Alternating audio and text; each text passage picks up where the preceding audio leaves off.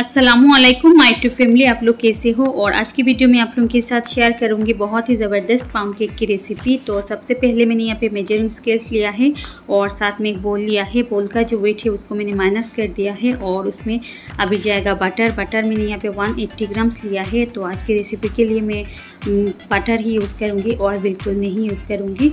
और यहाँ पर देखिए कैमरा की वजह से ग्रीन हो गया है तो दिखाई नहीं दे रहा है। तो टोटल मैंने वन ग्राम्स बटर लिया है और उसको मैं अच्छी तरह से बीट करूँगी और साथ में डालूँगी 170 ग्राम्स मैंने कस्टर्ड शुगर लिया है और शुगर डालने के बाद मैं अच्छी तरह से बीट करूँगी।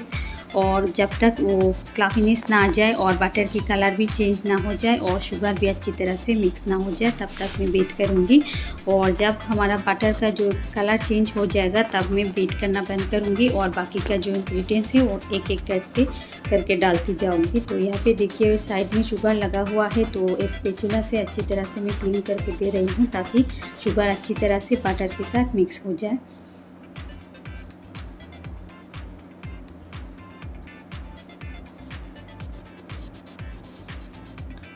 और यहाँ पे देखिए, अच्छी तरह से कलर भी चेंज हो गया है तो साइड को मैं क्लीन कर कर रही हूँ क्योंकि बटर डालने की वजह से साइड में बहुत ज़्यादा फैल जाता है तो उसको क्लीन करना भी बहुत ज़रूरी होता है, नहीं तो साइड का जो रह जाएगा वो अच्छी तरह से मिक्स नहीं होगा। और आज की रेसिपी के लिए मैं तीन अंडा यूज़ करूँगी तो अंडों को मैं एक साथ में नहीं डालूँगी, एक एक करके डालूँगी और मिक्स करती जाऊँगी, जो जिस तरह से मैं वीडियो में दिखा रही हूँ, उसी तरह से ही आप लोग फॉलो कीजिए।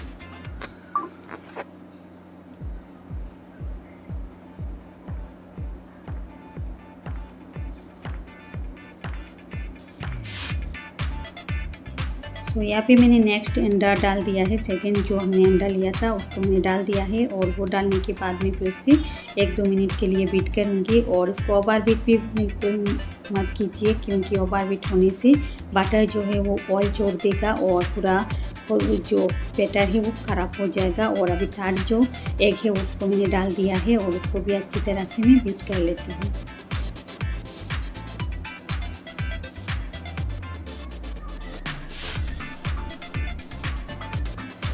और जब अंडा अच्छी तरह से मिक्स हो जाएगा, तब इसमें जाएगा ड्राई जो इंग्रेडिएंट्स हमने लिया था तो वो मैं डालूँगी। तो ड्राई इंग्रेडिएंट्स में मिलना चाहिए हमें मैदा। तो मैदा मैंने यहाँ पे वन सेवेंटी ग्राम्स लिया है और उसको मैंने एक बार में नहीं डालूँगी, दो बार में डालूँगी।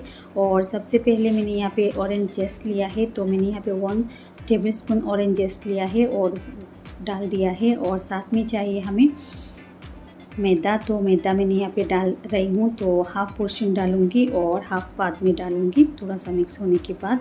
और ऑरेंज जेस्ट मैंने यहाँ पे वन टेबल स्पून लिया था और सब कुछ डालने के बाद में फिर से मिक्स करूँगी तो बिटर में यूज़ कर रही हूँ आज की रेसिपी के लिए। और देखिए, जब अच्छी तरह से मिक्स हो गया है तो बाकी का जो मैदा रह गया है, उसमें डाल दिया है मैंने वन टीस्पून मैंने बेकिंग पाउडर और वो डालने के बाद में मैदे को थोड़ा सा मिक्स कर रही हूँ ताकि मैदे के साथ बेकिंग पाउडर अच्छी तरह से मिक्स हो जाए और उसके बाद मैंने बोल में डाल दिया है और उसको भी अभी अच्छी तरह से मैं बीट करूँगी। और उसी के साथ मैंने यहाँ पे ऑरेंज जूस लिया है तो मैंने यहाँ पे ट्वेंटी ग्राम्स ऑरेंज जूस लिया है तो पहले मैंने हाफ़ डाल दिया है और उसको भी मैं बीट करूँगी और लास्ट में अगर हमें ज़रूरत लगेगा तो बाकी का जो जूस है वो लास्ट में डालूँगी। तो इस रेसिपी के लिए मैंने यहाँ पर कोई एसेंस वगैरह कुछ भी नहीं डाला है नेचर नेचुरल चीज़ लिया है तो उसी से ही बहुत अच्छा एक फ्लेवर आ जाएगा केक में। और देखिए, अच्छी तरह से जब बीट हो जाएगा तो इसमें ज़्यादा बीट करने की कोई ज़रूरत नहीं है, नहीं तो पूरा बेटर जो है ख़राब हो जाएगा। और अभी इस पेचूल्हा से साइड को मैं क्लीन करूँगी और अच्छी तरह से भी मिक्स करूँगी ताकि नीचे में अगर कुछ रह जाएगा तो सब कुछ एक साथ में मिक्स हो जाए। और यहाँ पे बेटर थोड़ा सा थिक लग रहा है तो बाकी का जो जूस था, उसको मैं डालूँगी और अच्छी तरह से मिक्स करूँगी।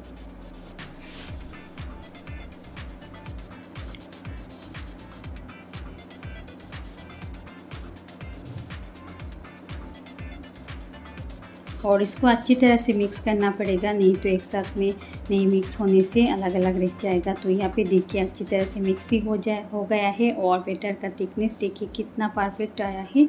और अभी इसको मोल्ड में डाल लूँगी तो मैंने यहाँ पे एट बाई फोर इंच का मैंने यहाँ पे मोल्ड लिया है और सारा बेटर में अच्छी तरह से डालूँगी।